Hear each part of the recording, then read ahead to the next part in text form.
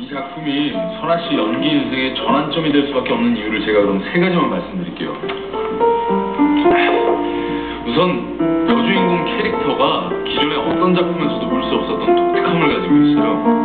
음, 이 캐릭터는 뭐 한국 영화에서는 거의 처음이라고 해도 과언이 아닐 만큼 신선하고 획기적입니다.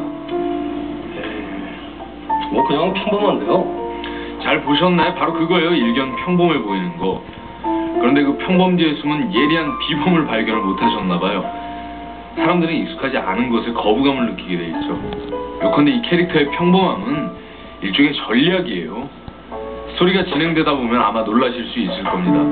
아, 어떻게 이런 매력적인 캐릭터가 있을까고요. 선아 씨는 뭐라 그래요? 선아 씨는 발견해 줄 수 있을 것 같은데. 아, 선아도 그냥 그렇대요. 아, 요새 선아한테 작품 밀려드는 거 아시죠? 다른 작품하고 비교가 되나? 다른 건 작품이라고 할 수 없죠. 그건 상품이죠. 예. 일단 더 당해볼게요. 하는 걸로 알고 있겠습니다. 저 그럼 다음에 뵙겠습니다. 저 식사라도 아닙니다.